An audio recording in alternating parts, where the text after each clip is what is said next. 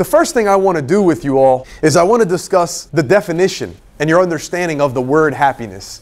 Because just like the word success, we can't really address or talk about something if we don't know what we're talking about. So I, I don't know if I've mentioned it in a previous lecture um, as far as success. And uh, a very critical, fundamental part of being successful at anything is first defining what the term success means to you. And so I'm not going to talk about success too much here, but there's an overlap in a sense of the way you go about both of these things, happiness and success, have to do with your first, your understanding or your definition of what those things imply. So it's a great quote from Dale Carnegie, and it, it really puts in perspective the difference between the two things, but also maybe that there's a relationship. And and we'll talk about some misconceptions as to what to, what leads to happiness. And one of the misconceptions of what leads to happiness is getting something. In other words, being successful at successfully accomplishing something. And so he, he says here, he says, success is getting what you want. If you want something and you achieve it, you can consider that successful. Now, that doesn't imply then that, though, that when you are successful or you get what you want, you will be happy about that. And we know this because we can look at uh, billionaires, multimillionaires, successful CEOs, people who have accomplished world, world championships, individuals who have reached the pinnacle of whatever they've wanted to accomplish or achieve or attain, and they've become successful, but they're miserable, they're depressed, they're not happy, even though they've achieved or attained everything they've wanted to. So success can be defined as achieving what you want, but the thing you need to remember is that doesn't, it's not implied and it shouldn't be applied or assumed that happiness is a part of that process that just achieving something or being successful at something, happiness is a part of that. You might experience some joy in, initially, but happiness is not some, some permanent byproduct that will come from an achievement or an accomplishment or a success. So, success, yes, is getting what you want, but let's look at the flip side of what happiness is according to Dale Carnegie. Happiness is wanting what you get.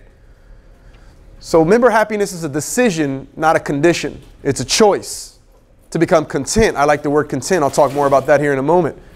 It's a choice to become content and okay with what you have and what you get. You don't have to be satisfied per se, but you can be okay with where you are and then go earn more. So don't confuse these two things.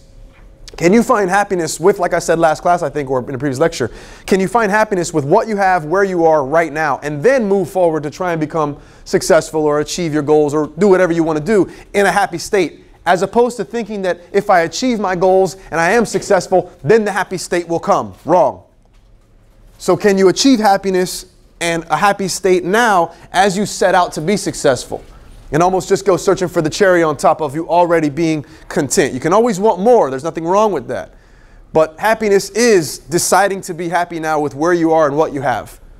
And, and happiness is the term that I'm going to define because that's what we need to look at because there's a misconception as to what that means, the definition of happiness. And what I'm going to encourage you to do is look at happiness in a couple of different ways. You'll hear the word happiness thrown around, but let me ask you all, before I dissect this word, how many of you all, just by a show of hands, would consider yourself happy right now? You feel happy right now, just by a show of hands. You feel happy right now. I want to see the hands, just I want to see the percentage of the room that you would state, I'm happy right now um, let's see, maybe 50% of the room or so.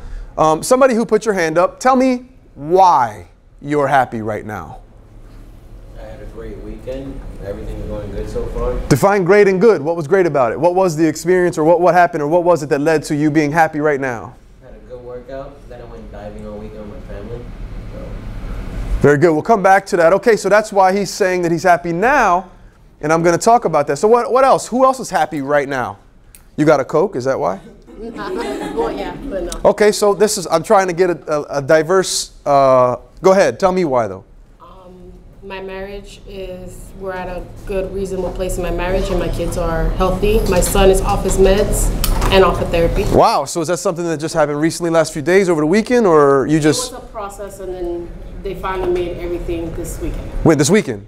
So you've got some information that was meaningful enough to you to you consider to be okay, cool. Anybody have anything different than these two things? Because these are in the direction of where I'm going to take you all. But that's not necessarily why.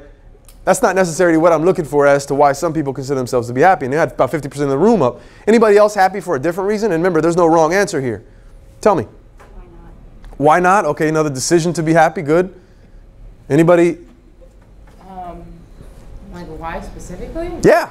I don't know, because everything seems manageable. I mean, granted, there's a lot going on personally in my life.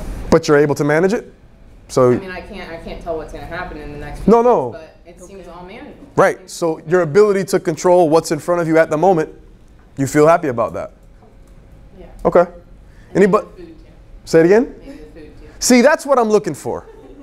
Okay? Because when most people think about or talk about happiness, what they're really talking about is pleasure. They're not talking about the things that you all actually contributed, and that's what I want to decipher. You and you, and actually you gave me a decision and a choice, but until we got to food, the responses that we heard, I don't consider those to be happy.